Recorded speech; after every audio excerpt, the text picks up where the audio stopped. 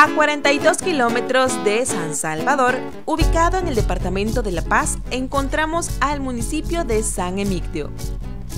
Ubicado a 700 metros sobre el nivel del mar, formando parte de la ruta panorámica, San Emigdio se convierte en una gran opción para visitar en nuestro país. En su casco urbano podemos apreciar su hermoso legado colonial, la iglesia de San Emigdio esta posee más de 100 años y desde su fachada hasta su interior se puede observar los detalles y estilo que la hacen una joya arquitectónica. Sus fiestas patronales son del 9 al 18 de agosto. Otro templo muy conocido es Concepción de Lourdes, ubicada en el Cantón Concepción, uno de los más grandes del municipio. Este posee unos 80 años de fundación y fue renovado hace 6 años. Ahora nos trasladamos hasta las diferentes zonas turísticas del municipio.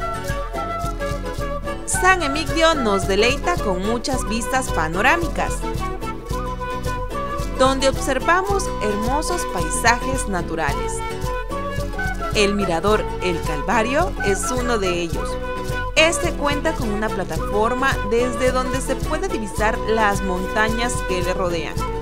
Y cuando se encuentra despejado, una parte del lago de Lopango se puede observar. Y hablando del lago de Lopango, le comento que a este municipio también le corresponde una parte de este majestuoso manto acuífero nos movilizamos en un vehículo durante 20 minutos hasta llegar a la playa Casco de la Hacienda. Aquí el lago de Lopango nos recibe y nos deja apreciar su belleza a pesar de ser un día nublado.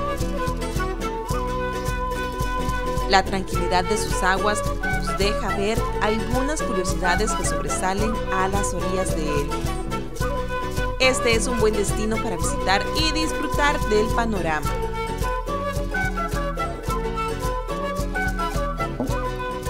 Estamos en la playa La Hacienda, en el municipio de San Emidio. Para llegar acá pues se puede abordar en la ruta panorámica que viene de San Salvador, se desvía en, Santo Tomás, vea, y pues ya puede entrar en la ruta eh, panorámica. Estamos en el kilómetro 36, está el desvío hacia este lugar.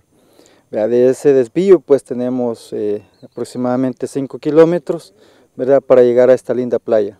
Bueno, en la alcaldía tenemos una página que se llama Turismo San Emidio en Facebook donde pueden buscarnos, ahí estamos y pues también tenemos el teléfono de la municipalidad que es el 2379-2517 con la unidad de turismo para poder contactar y poder visitarlos acá. Por el momento pues pueden entrar solamente vehículos 4x4 para llegar a este lugar, dado que hoy en el invierno pues las calles se ponen un poco lisas. Pero en el verano pues ya pueden entrar vehículos también que no necesariamente dobles, sino que cualquier vehículo que sea un poquito alto puede entrar hasta este lugar para poder venir a disfrutar de la naturaleza que tenemos en este lugar. Luego de un buen recorrido se nos antoja algo de comer. Y en el kilómetro 36 y medio encontramos a típicos Mamaculia. Aquí pudimos saborear una variedad de platillos con un exquisito sabor y sobre todo un buen servicio.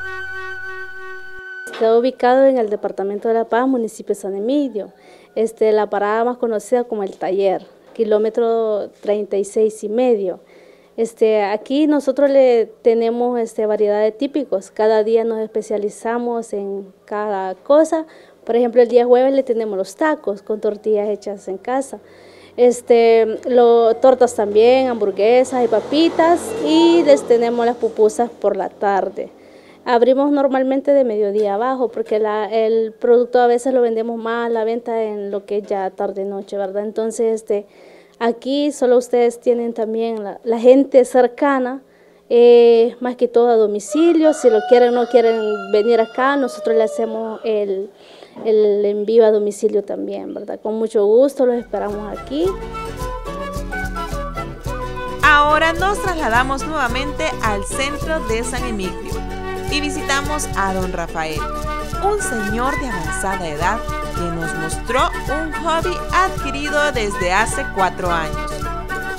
Y es que él con sus manos moldea alambre y los convierte en estos arbolitos que pueden lucir muy bien en su hogar o negocio. El agradable ambiente y la buena voluntad de sus habitantes hacen del municipio de San Emigdio un grandioso destino por conocer. Para este es El Salvador, Brenda Granados,